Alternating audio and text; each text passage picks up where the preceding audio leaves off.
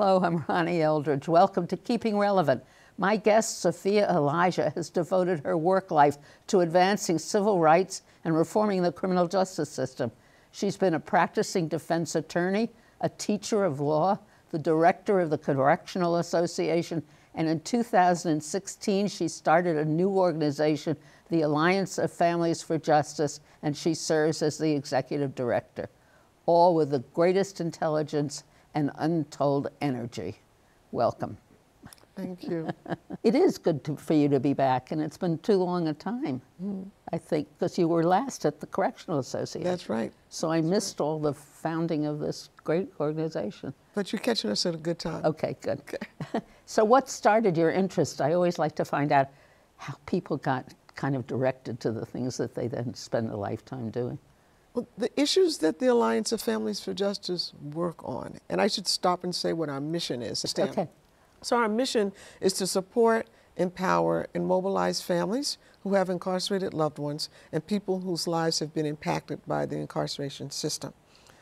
That issue is one that impacts the community that I come from, that I grew up in and I still live in. And so it was very near and dear to my heart, but I never recognized it or foresaw it to be like my career. I went to school to be a doctor. Okay? but on the way to the forum, I switched uh, majors and interests and decided I was going to be a criminal defense lawyer. Boy. And the rest is history. But at age 17, I took my first step into a maximum security prison in New York State, and that had a lifelong impact on me. I can just imagine. I remember the first time I visited a prison, and it was astonishing. Um, and I, I don't think anybody has, a, or most people do not have the faintest idea of what it's like. Correct. Correct. I mean, one overnight would be enough to make somebody never want to go back again. Well, just just the processing that you go through as a visitor, right, is humili- humiliating. Right. Um, strips you of all your dignity, and you can't help but reflect on if this is what's happening to visitors, what is happening to the people who are forced to spend the night there? Yeah, it's incredible. Yeah. So why are we like this as a public, uh, general population? You know, the American public has an addiction problem. We're addicted to punishment. Everybody thinks that they are ordained to sit in judgment and decide punishment and make the punishment as um, humiliating as possible um, to destroy people. It's, it's really, really a bad sickness that we suffer from, as opposed to, as a society, saying if someone's behavior um, was outside of the norms of acceptable conduct, then we as a society have failed. What have we failed to do as far as providing this person with the support so that they feel that they're a contributing member of society. Instead, we condemn the person. We don't look at the systems that we have forced them to navigate to oppress them in a variety of ways and decide that this individual has failed as opposed to we as a society have failed. But it's, it's such a complicated thing because the fear of crime is so manipulated and used mm -hmm. by so many people. I mean, uh, elected people, people, you know, the police. I mean, everybody participates in making it this great fear. It's a cheap narrative. Yeah. It's a cheap narrative and it has worked over and over and over again. So now what you've done though is you've taken that general topic mm -hmm. and brought it into a more local, realistic, existing state, right? Right. The, your organization is with people who are, have been incarcerated or parts of families where somebody is incarcerated. Right. So how did you decide where to start it? And what's your theory that it comes from certain populous districts? Is that what happened? So, what was happening, I would say maybe 20, 15 to 20 years ago, was slowly the American public was starting to look at the fact that the United States was the number one incarcerator in the world. Right. And that it held 25% of all the people who are incarcerated across the globe. That's pretty staggering. That's an amazing thing. Right. We have more people in prison than China, anybody. Right. With 2.3 million people incarcerated. But there was no dialogue about what were the collateral consequences of the the people who were doing time with the people who were incarcerated. So a number of measures and more narratives started um, to evolve about maybe we should have alternatives to incarceration. We should have more programming inside for people who are incarcerated. Maybe we should have um, more opportunities tied to the court still, but more opportunities so that people's lives wouldn't necessarily end up behind a cage or in a cage. But there was no dialogue about what about all the folks who are back home? Not just the children, because there was more growing narrative about the children, but what about the siblings, the aunties, the grandparents, the parents, the spouses, the partners, and the neighbors, and the girlfriends, and the boyfriends, and eh, cousins? The whole family does time with the person who's sent to prison. And that whole family is traumatized by that experience, just like the person who's incarcerated. It's not the same kind of humiliation, but they dovetail with each other. And when did we notice the percentage of the, the obvious racism, the percentage of black and Latino well, people? It's an interesting question when you say, when did we notice? The question is, who's the we? Black and brown people knew all Always along. knew. Right. Um, but when did that come to the public well, you know, some researcher decided that voila, they had just figured something out that a lot of people who look like me knew all along. That, for instance, in New York State, the prison population is about 80% black and Latino, about 65% black, about 15% Latino, and then the rest other and white. Now, it can't be that with the black population being no more than 13% of the overall New York State population, that it should be 65% of the prison population. And there's been numerous research studies that have shown that the incidence of criminal behavior is the same across all races. But who ends up in a cage and who doesn't is tied to racism.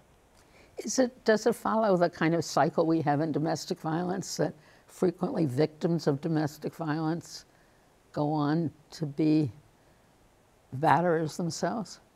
Mm, I don't know that can, we can draw a bright line um, for that. It is true that the data that reflects the number of people who've been victims of uh, domestic violence falls far short of the actual numbers of people who, right. who've been subject to domestic violence. Um, I think maybe what we're getting at in the question is, is it true that people who've been harmed tend to harm? Um, there's been, there's been research that has shown that that in fact is the case, and if you if we as a society took the time to really talk to people who are incarcerated or have been incarcerated about what their life trajectory has been, many people have had very sad upbringings, navigated very traumatic experiences.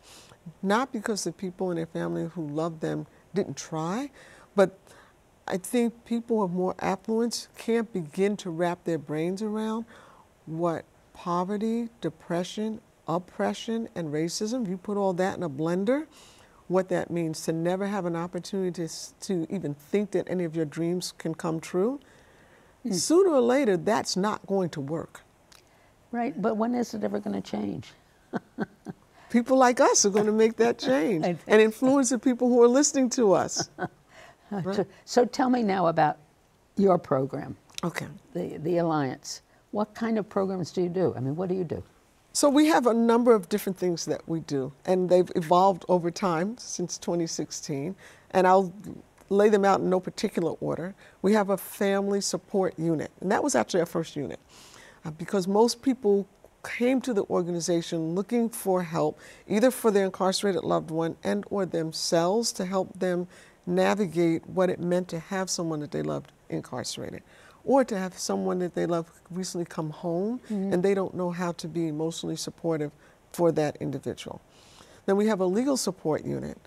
And our legal support unit is the only place in town where family members can go and get free legal advice and representation to help them navigate the indignities and sometimes the denial of visitation, et cetera, um, when they're going to visit their loved ones. And the family support unit, excuse me, then the legal support unit also helps incarcerated people, um, um, Right. parole, Yeah. um, clemency, denial of access to mental health or, or food or a transfer, a wide variety of things, and punishment. Um, I know some people might say, but someone's already punished when they're in prison. That's true, but then there's other layers of punishment like solitary confinement, et cetera. So our legal support unit works with that. We have an organizing and advocacy unit, which is actually our newest unit, where we train family members, volunteers, formerly incarcerated people um, in advocacy and organizing so that they can be on the front lines advocating for system change that they feel will improve the quality of their lives and the people that they love. And last but not least is our Youth Empowerment Project that works with young people who are more on the margins. Our young people generally are not those folks who um, are on the National Honor Society and who have been tapped for 24 different scholarships at um, Ivy League universities, but are the young people who are navigating the challenges of making it day to day in our society who otherwise might not ever see themselves as leaders or as being civically engaged. So those that's our, our I'll say our catchment. And you area. pay them.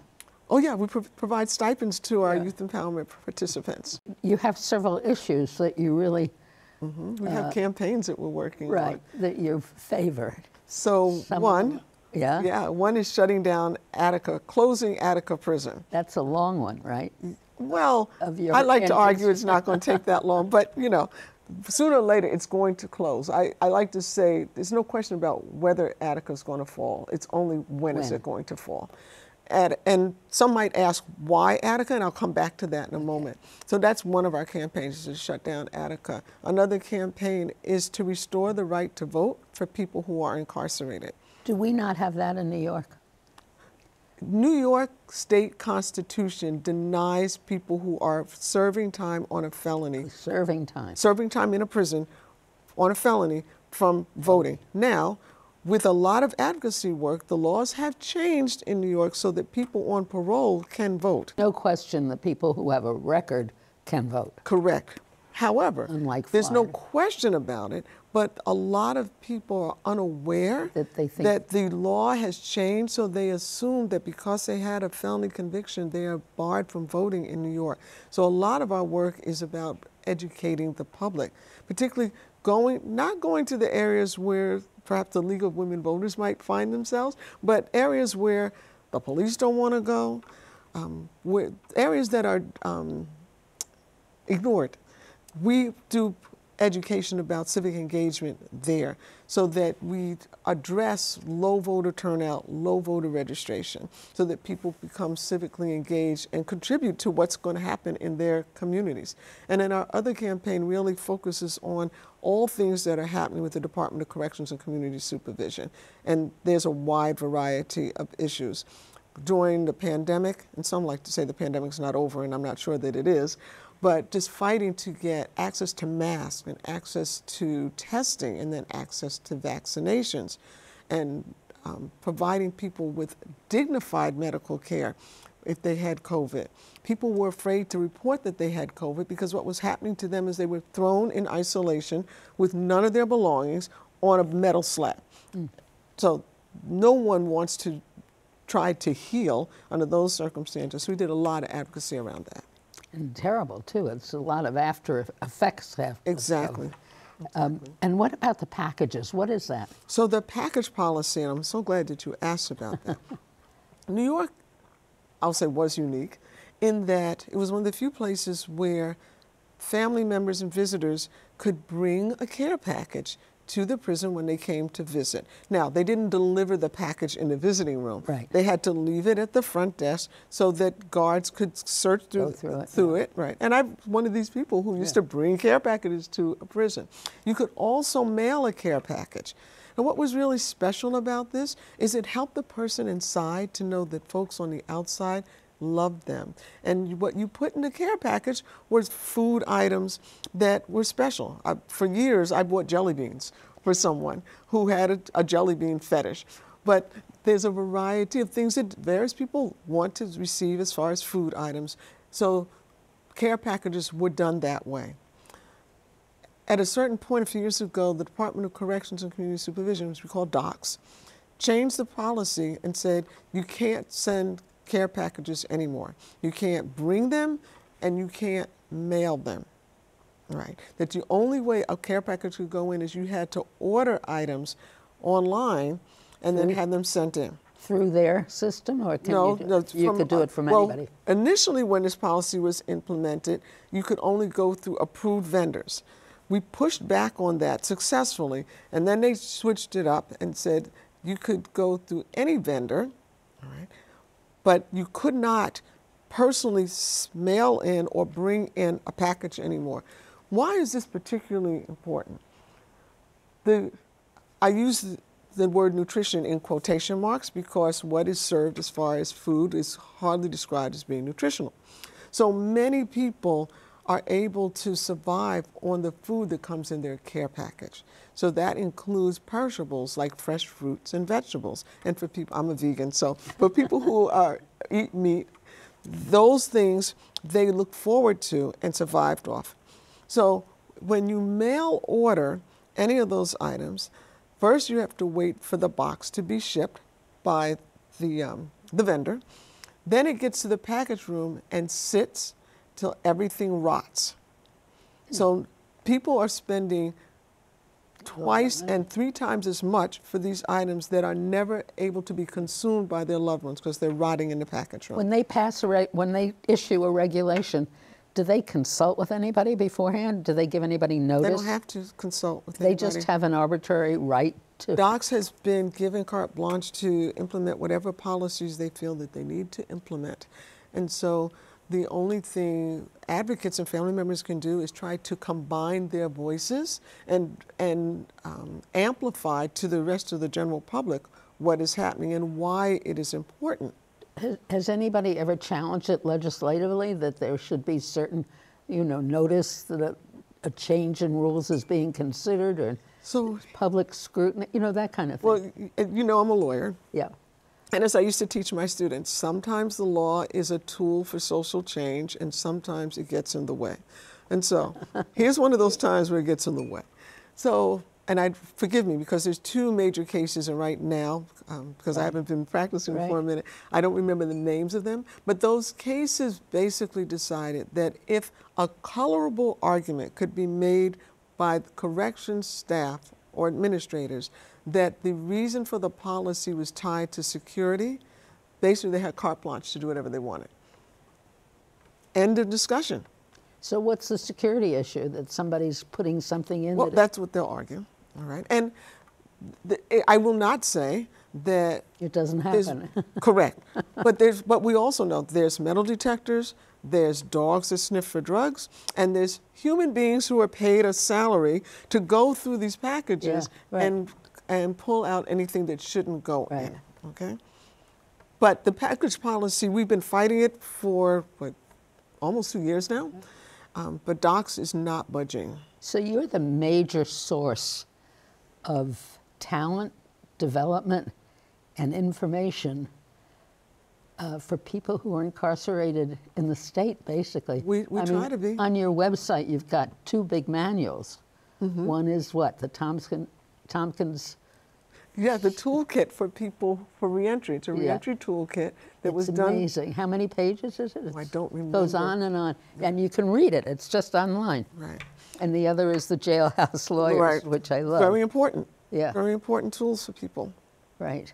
There was something I read that you, you, you can be found early in the, at late at night where the buses are leaving, and that was particularly of interest to me because before the Coliseum at 59th Street was, that building was taken down, Right. the. Buses used to leave from there. What they called them prison gap buses. Right. I've ridden them. Yeah. Yeah. And so, I- but- my husband, who was a writer, was fascinated because you would mix the crowds coming from Lincoln Center, all glittery, Right. And all these poor people who were waiting for those buses on, in the middle of the night.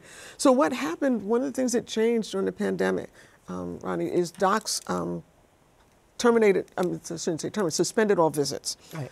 So many companies, usually small entrepreneurs, who had vans, maybe one van, maybe a couple of vans. Some people had buses. Those companies didn't have customers anymore, and that that suspension of visits happened a few different times and for long stretches. So far fewer providers of transportation to the facilities existed. And, and most of the, a lot of these facilities are very far away. Correct. So pre-pandemic, they had at that time around 52 facilities, and there was a whole network of van companies that would pick up people at various places throughout the city. The, to the unknowing, you would have no idea that this space on the sidewalk was a place where around 10 o'clock at night people were going to start gathering with large bags, care packages, to take to the facilities, and they were going to be riding those buses through the night for a visit. So we would go to those places because we were part of the network and provide hand warmers and toe warmers for people because it was cold, most of the places they were going. We'd bring snacks, and during the holiday season, we'd bring um, children's books and gift um, toys, gift wrap for children. So, because a lot of people were bringing children, and for that long ride, they would have a surprise and a, and a gift. And we would also give them literature about our services, all of which are free. It's amazing, and no wonder I talked about your energy and your commitment to this. It's astonishing and inspiring and everything else. We're talking about closing prisons, mm-hmm. and that's a whole nother interesting kind of thing. But we're not talking about building new kinds of prisons, institutions, are we? Well, Did it depends upon where you are. In New York, the prison population has decreased drastically from 72,000 to around 32,000 now. But at one point, it had dropped to like 29,000. It's a state New York prison. State prisons, prison. right? So with that drastic drop in population, you didn't need as many facilities. Right. So a, a, move started happening um, with a couple of prior governors to close prisons, and more than 13 have been closed. Only one maximum security prison, though, has been closed. The rest are mediums, minimums, and work release prisons. The problem with that is that what you want to do is move people from maximum security settings to more less restrictive right. settings so that they're better able to navigate coming home. Right. All right. But like I said, only one max has been closed. But the, the need to close even more um, exists because the prison population is so much smaller than it used to be. But the union pushes to keep the prisons open for jobs. Right. Okay. Why Attica should be closed? It's the most notorious prison in New York State. It is, and most notorious probably across the country. It's like known, and the atrocities that existed back in 1971 when there was when there was a rebellion, in Attica prison still exist today. Terrible. Other than that, it's a bad idea. And Attica's not the only prison that should be closed, but it's you got to start someplace. Yeah. We're starting there. Have you ever been to Germany to see what they their prisons? I did not go on that trip to Germany, yeah. but I'm very familiar with their yeah. system. Yeah, and it's nothing like this. No. It's, it's like a home. Right. Same in Scand- many of the Scandinavian countries the same. Right. They don't wear uniforms and they Correct. and they live in a decent kind of house. They're treated like people. Right. So are we ever going to resolve? We're not going to be able to resolve um, Rikers without strong federal intervention or takeover? Or at this point, it does then? seem like that. Yeah. It does seem like that, and um, you know, I think we're at a place where whatever it's going to take, it needs to close. The atrocities that happen at Rikers every day are unfathomable. I had previously served under previous administration as part of the transition team to try to shut down um, Rikers and go with a borough-based plan, which wasn't perfect, but it was light years better than the current system. And right now, I think we're stuck in political inertia. So, are you um, filled with energy? I mean, with every optimism? I'm filled with energy every day. Optimism some days. some, but do you think that we're ever going to bring major improvements to communities and we don't have to worry about the poverty and the that's what's so overwhelming. You know, there's um, we need another program. we need a major lobotomy of the American psyche, Yeah. so that we shift from thinking that we're better if some people are worse off, and that we change to thinking that as a society we're better if everyone is better, if we feel more communal and more um, attached to all of the occupants of this country as opposed to just a few.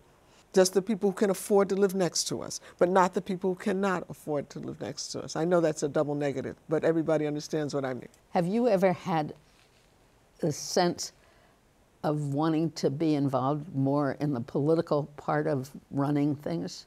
I mean, You why mean like don't hold you- political office? Yeah. Why wouldn't Absolutely you be mayor? Absolutely not. I don't mean, I don't mean in the criminal justice area. Mm-hmm. I mean overall, because I think you have a unique perspective on what the world should look like. Anyway, I probably do have a unique perspective. I, at this and stage of my life, desirable, and desirable. running anybody's city is not on my list of things to do. That's too bad. But I'm very invested in trying to inspire other people to do that. Yes, I can tell that. That's what the whole program is about. It is. It is. Well, thank you so much, Soffiyah. Thank you for having me, It was lovely.